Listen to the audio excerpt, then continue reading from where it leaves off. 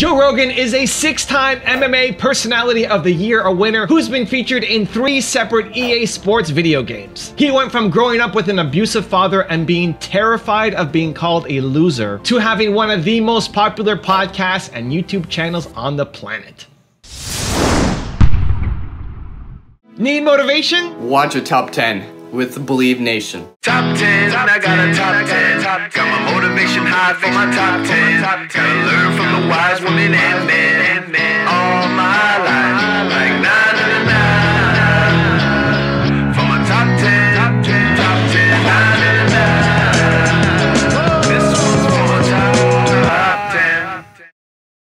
It's Evan Carmichael, and you are probably the most ambitious person in your circle, but you know you're capable of more, and you get that push by surrounding yourself with the best. So today, let's learn from one of the best, Joe Rogan, and my take on his top 10 rules of success.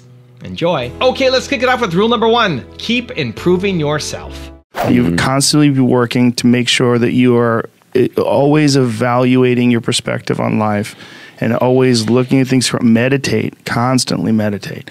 Make sure that you approach life with uh, a, a learned perspective. Like you're a better person than you were the day before, and whatever you're trying to do, whether it's fighting or whether you're you have an art form that you practice, whatever it is that you're doing, you're trying to do better every day and you never even if you you accomplish some like when you know you accomplish some amazing work of art that's just that day mm-hmm. the next day you got to go back to work like Yeah. like if you have a world championship fight and you've trained for 8 weeks and you win by knockout and it's a spectacular result and you're very happy with the result you got a day or two to relax Yeah. you got a day or two, and then you're like, okay, now what? Well, Yeah. you, now you got to get back to work. And if you if you think that there's some place like a movie where you're holding hands with your loved ones and the f***ing sunset's going on and the credits roll, that's horseshit.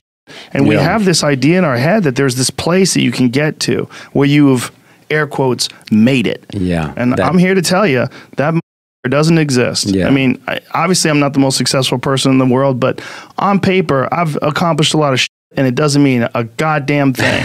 every day, every day, I get up and I'm like, all right, I gotta figure out how to do this. I got to work on this new bit. Okay, I got this podcast today. I got to be on point. Let me think about this. Let me read this book. Let me, uh, Mm-hmm. ki- you know, whatever the subject is. Let me get all. Let me get into it. Uh, You, you have to. If you don't, you're you're gonna feel like shit. Rule number two exercise. People are so crazy. They, they they want you to believe I don't have the energy to exercise. God damn it! Everyone does. If you're I alive, don't know. you can I be- exercise. I, believe that. I've been there. I know I'm a different case, but I've seen my dad there. And then here's the thing once he fixed up his diet, once he went to this carnivore diet, he's exercising now. Sure, he's got l- less weight on his body. He feels better, And he has he's- energy. That's wonderful. He could have exercised then too. He would have felt shit for sure. Wouldn't have felt as good as he's feeling now. But to give people this excuse, I don't have the energy to exercise. That is crazy to say. Can you walk to the f***ing refrigerator? yes. Well, you can exercise. You don't have to do anything crazy. Just walk around the block. There's a, there's 80 year old ladies who take yoga with me. They're they're they're really old and they're in there. They're they're going after it. They could easily say, "I don't have the energy to do that," but they don't. It's a mental attitude. They make a decision. I agree. Like, there's a lot of it's discipline. You're going to get people who just won't exercise. you don't have to kill yourself. You don't have to go to a CrossFit class and try to do the workout of the day. You don't have to go nuts and do clean and presses with 150 pounds. You don't have to do that, but you have to do something. Just get get your blood moving. Your body has requirements. It wants to move. It really does. And when it does, you feel better. But people like to give themselves this excuse. I do not have the energy to do this. Whatever. If you decide that, that's true. But if you watch a motivational video, there's a hundred of them on YouTube, thousands even. You go watch one, you'll get fired up. You're like, and I'm going to jump some rope. You jump some rope, you do something. Just do some push ups, do something, do some body weight squats. You'll feel better.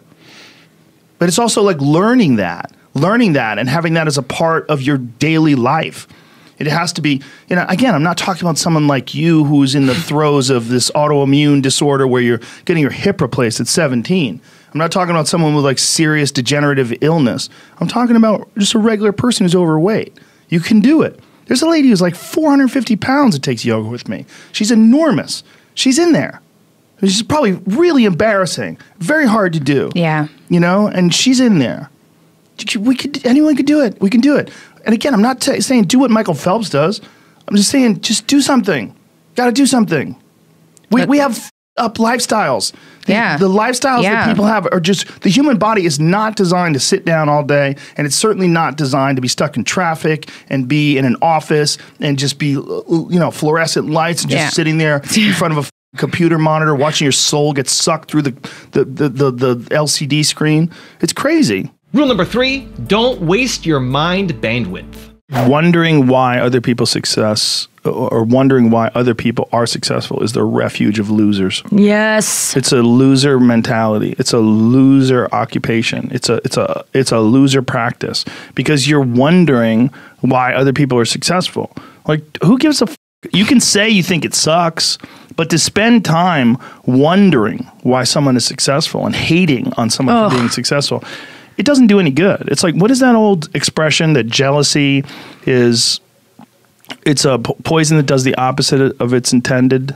Oh, right. it doesn't affect the other person at all, but it poisons yourself. Yeah. It wastes your your energy and time. It, It just is rots you so it's so indicative that you are insecure. Yes. It's like people don't realize how what a giveaway that is when they are talking shit. You're just like, Yeah. "Ugh, this is just showing me that you don't like yourself." Well, I figured out there's something that I figured out personally, Yeah. and that um, I, I try to relay this, and I try to be more clear and more concise the way I relay it. The way I, I look at it is that your mind, you have a certain amount of bandwidth. This is why I don't read Instagram comments or Twitter comments or YouTube comments. Like I don't have any time. If I read them, it's an accident. But to seek them out, Yeah. go, like you have bandwidth. I don't spend time wondering why I hate things or hating things or hating on someone or being jealous. You have, let's say, let's call it units. You have a hundred units of bandwidth in your mind.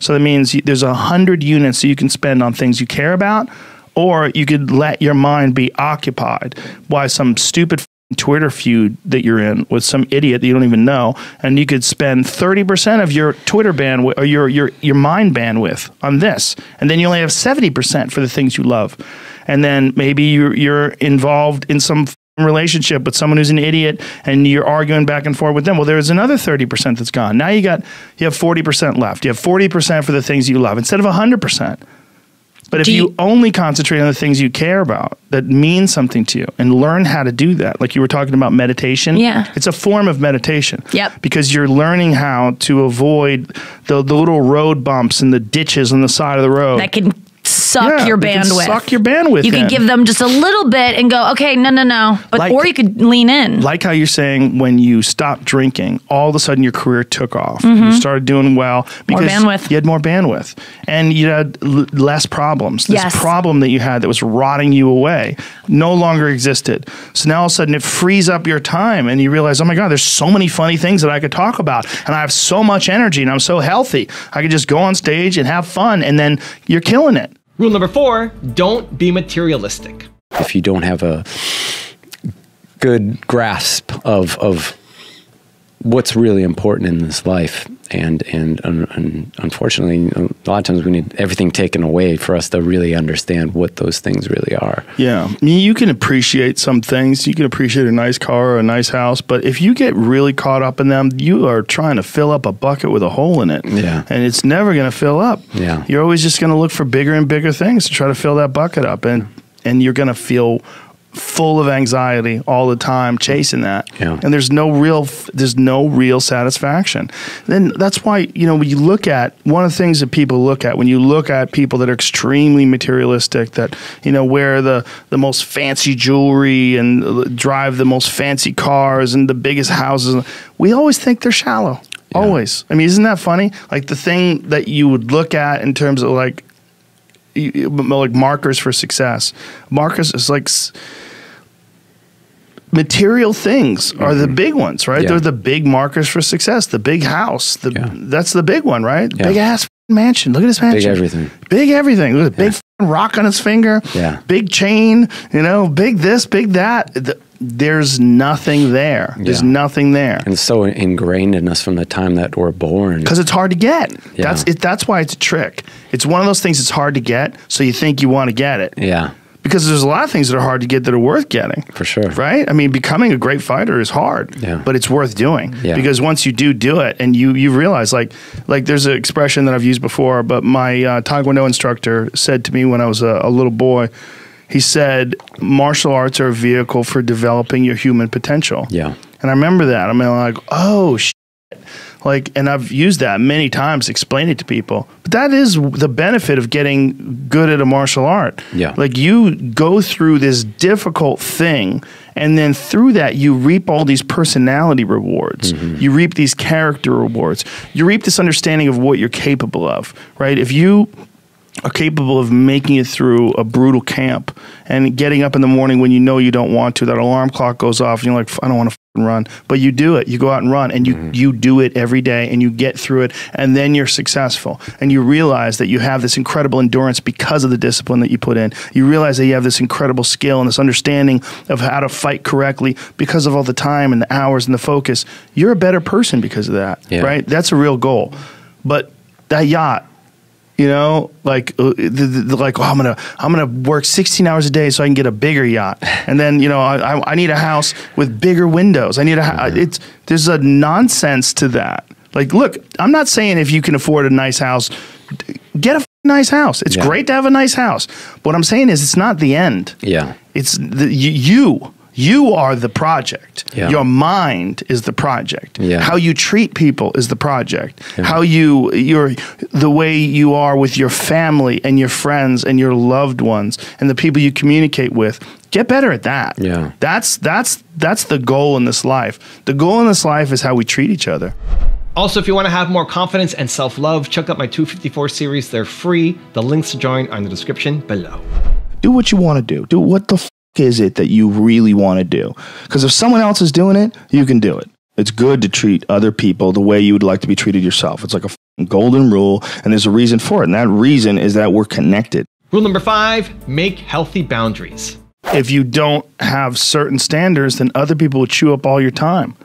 And their problems become your problems, and they're not even thinking about their problems. They're thinking about you thinking about their problems. I mean, there's many people that pawn off their problems on other folks, and they think that if you're a good friend, you're helping me. Like, you're not a good friend. You're not taking care of me. You're not helping me. I'm like, you're not even helping yourself. Yeah. The are you doing for yourself? Like this is a, a trap that a lot of people get stuck into. It's codependency. It happens in a lot of relationships. There's a lot of people that get involved in relationships, boy and girl, that they find that the person who is their their soulmate is also the source of all their problems, and they're the curator of this person's life. They're the, they're supposed to be like helping this person along because this person is like deemed them the person who's most important to them and it's like you gotta you gotta find you gotta find out what you know what, what is the what's the boundary where you won't cross where Yeah. you realize like someone is becoming an impediment to your own happiness and success Rule number six learn from failure.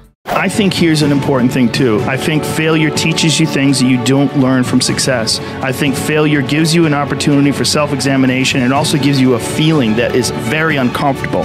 And that very uncomfortable feeling helps you grow. And don't look at these failures as like proof that you suck. Look at them as opportunities for growth. Look at them as opportunities to be motivated to do better. Rule number seven push yourself. There's purity in physical pursuits, right? Because it doesn't matter what your social status is, it doesn't matter how people perceive you. When it when it comes down to how long can you stay in that pool, when it comes down to how far can you run, when it comes down to how much can you push yourself past the part where you want to quit, how far can you keep going? There's a purity in that that it, it, it dissolves social order, all that bullshit all the what people think about you goes out the window. It's what who who are you right now? That's right. Who are you right now? Rule number eight figure out the right path. You can only have so much success in this life before you start thinking that you're different than other people. You know, it's you're thinking that you're something special. No, Yeah. yeah, it's you look if you're on a path, right? If everybody's on a path and you start off here and then X amount of years later you're Yeah. way away, Yeah. you could start thinking, oh, I'm better than all those. Yeah. but you're not. You're just you just have been on this path longer, Right. and you haven't fallen off of it. You've figured out what you need to do to stay on that path. We know a lot of people that were on the path at one time in their career, and then something happened, and they lost their enthusiasm, or their body wasn't as healthy, or whatever the f- happened, and they dropped off. I'm still on that path. Why? I'm because I figured it out. What is it? Keep going. Keep going. Don't be a. P- keep working. Improve. Objectively analyze Yeah, your yeah. performance. Look at what you're doing wrong. Treat everything with respect. Treat all of your endeavors with focus and intensity and intention. Look at what you're doing and and uh, pay attention and do the work. Do the goddamn work. Do the writing. Do the performing. You'll see me. I'll do four or five sets a night in L.A. Yeah. I'm doing 15, 20 minutes, half hour. I'll do an hour here. I'll go down to the Ice House. I'll do an hour at the Ice House. I'm doing two shows at the Ice House tomorrow night. Right. And I'm, I'm I go. I go. There's no excuses. I go. You know, it's like the, and it- to me the way I've got it set up, it's great. My kids go to bed. By the time my kids are in bed, I leave. You're out. You know, I say goodnight, I tuck them in, I'm out the door, I'm headed to the club. I'm home in four hours. You know, and when I'm when I'm done, I get in front of the computer and I write. I write. I get up in the morning. I see him off to school. Go back to sleep, or I go to the gym. I get things done. Keep moving. Rule number nine get accustomed to stressful situations. just dealing with stressful situations and the tank like if there's a weird freak out that happens like w- how do you handle it like what what do you do and i was saying that the more stressful situations that i experience the more i understand what they are and the more i can relax. But it's also like the ma- a matter of constantly being exposed to these stressful situations where there's not a long break in between doing stand up or a long break in between martial arts training where to, to, the point where anxiety can build up. And then once you get into it it's almost an it's an unusual situation instead of a, a usual one And rule number 10, the last one before a very special bonus clip, is have fun. I was at home the other day, high as giraffe. You watching the History Channel?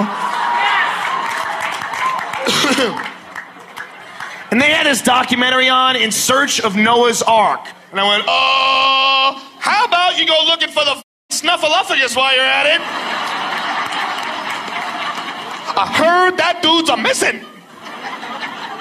You really gonna go? Yeah? Hey, on the way back, will you go to Whoville and get me some green eggs and ham? You f- gullible prick. Whoa. Don't get me wrong. If you're religious, I'm not saying there's no God. I'm saying people are full of shit, and that story sucks. Hello? Why do we have to believe it just because it's been around a long time and it makes no sense? You tell the story of Noah in the ark to an eight year old retarded boy, he's gonna have some questions. it's just a bad story. Even if you're really good at telling stories, you sit him down. Well, Bobby, once upon a time, God was mad at all the people in the world. And instead of telling them what they were doing wrong and offering guidance, he decided to go ahead and drown everyone. And he only told one man, a random man named Noah. Just picked him out of a crowd. He wasn't a special man. In fact, Noah was 600 years old and a drunk.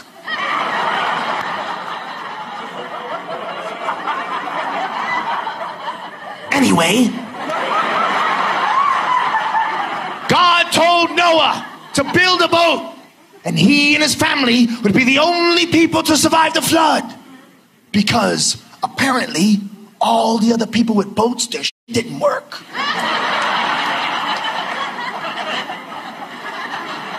Noah magically got two of each animal to come to him on foot from all over the world. And they willingly boarded the boat and got into cages. And they sailed away for 40 days and 40 nights, and civilization began anew. Eight year old retarded boy is gonna go. Oh. Oh, there's a lot of holes in that. Now, I've got a special bonus clip from Joe on how to not be selfish that I think you're gonna enjoy. But before that, it's time for the question of the day. I wanna know where do you need to push yourself harder? Let me know down in the comments below. And if you're still here watching and you promise, you commit, let's go, Believe Nation. We don't just watch videos here, we do something about it. If you are gonna commit to taking action today, give me a hashtag believe in the comments below. I want to celebrate you.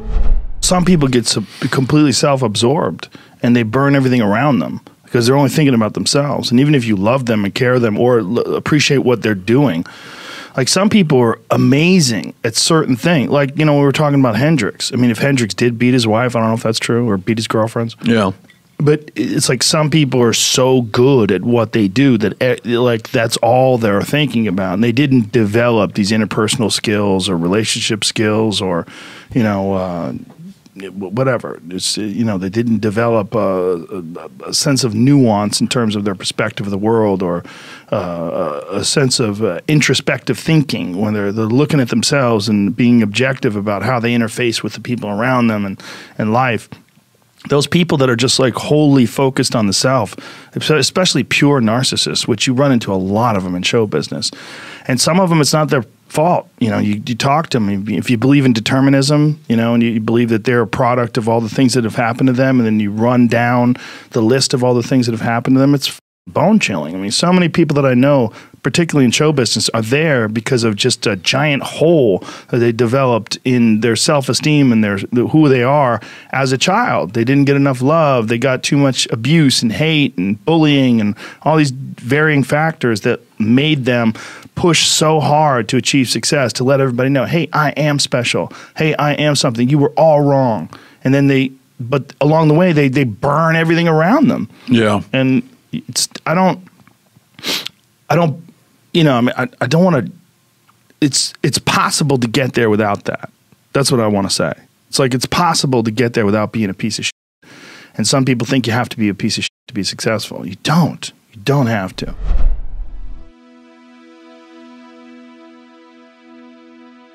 If you want 10 more awesome rules from Joe Rogan, check out the video right there next to me. I think you'll enjoy it. Continue to believe, and I'll see you there. And for some strange reason, because when you're legitimately talented, one of the ways you become legitimately talented is to be ruthlessly self critical.